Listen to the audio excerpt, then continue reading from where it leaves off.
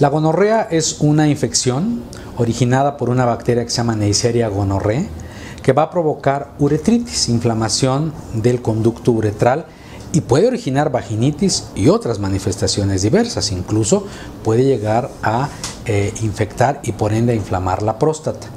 Esta infección, por fortuna, es muy sensible a los antibióticos convencionales.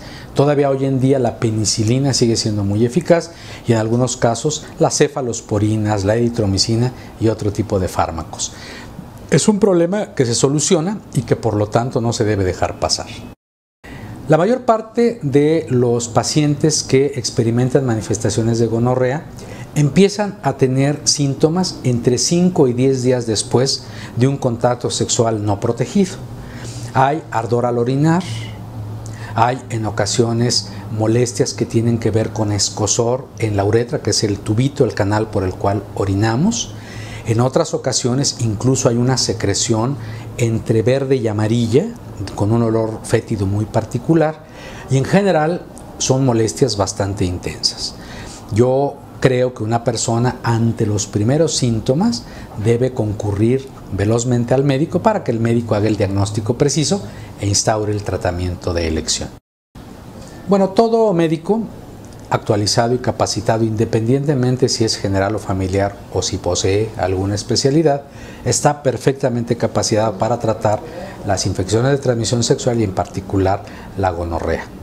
Entonces eh, hay que recurrir al médico, hay que vencer a veces la vergüenza y el miedo que da, porque los tratamientos son muy muy eficaces. Bueno, la sífilis es una infección de transmisión sexual. Durante mucho tiempo hubo endemias y epidemias muy importantes.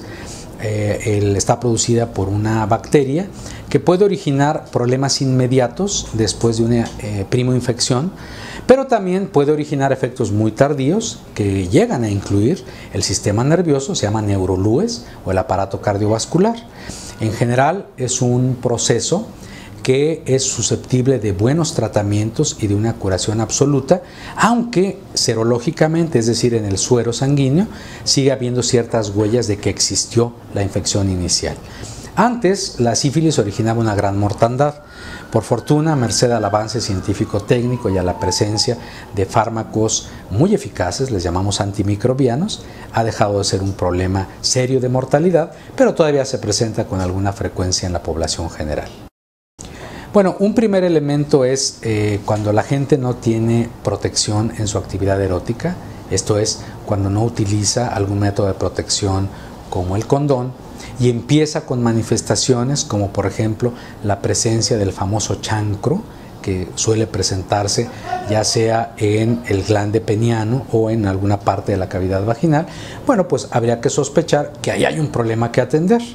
Por supuesto que será el médico el que corrobore el diagnóstico clínico y el que instaure el tratamiento específico.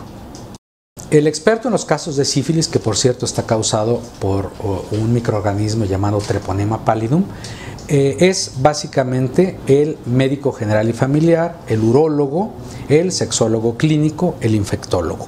Sin embargo, yo diría que cualquier profesional de la salud médica con experiencia en la atención de estos casos tiene el perfil idóneo para atenderlo.